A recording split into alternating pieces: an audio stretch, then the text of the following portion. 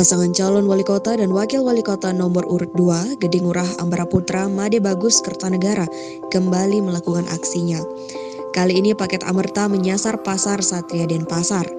Antusias kepedulian paslon Amerta terhadap kondisi masyarakat serta para pedagang pasar saat masa pandemi ini dilihat dari kegiatan Amerta melakukan pembagian masker kepada para pedagang dan pembeli yang membutuhkan kepedulian paslon Amerta untuk memajukan UMKM khususnya pada masa pandemi ini agar terhindar dari kehancuran. Murah Amara Putra mengatakan, ke depannya dengan sistem yang telah terintegrasi mampu merespons, mengevaluasi dan memberikan dukungan sosial ekonomi pedagang maupun masyarakat.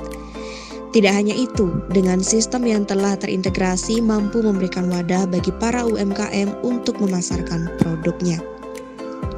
Tidak luput juga, Paslon Amerta menyapa dan mendengar keluh kesah para pedagang pasar. Tidak ingin melepaskan momen, Paslon Paket Amerta pun menjelaskan mengenai visi misi mereka yang diharapkan ke depannya mampu menyelesaikan permasalahan yang dialami saat ini. Dari Denpasar Bali, kontributor JBM TV melaporkan.